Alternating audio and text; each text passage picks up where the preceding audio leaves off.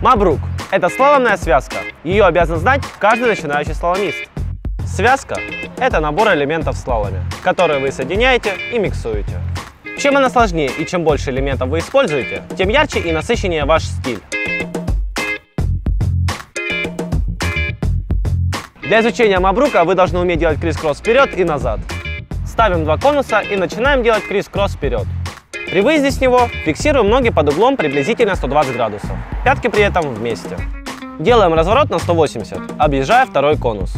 Вторым шагом будут те же два конуса. Начинаем с бэк кросса. При выезде фиксируем ноги. Носки вместе. Делаем разворот на 180 градусов, объезжая второй конус.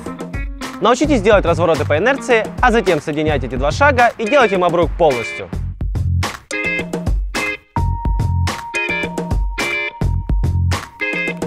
Не забывайте экспериментировать, ведь слалом развивает воображение.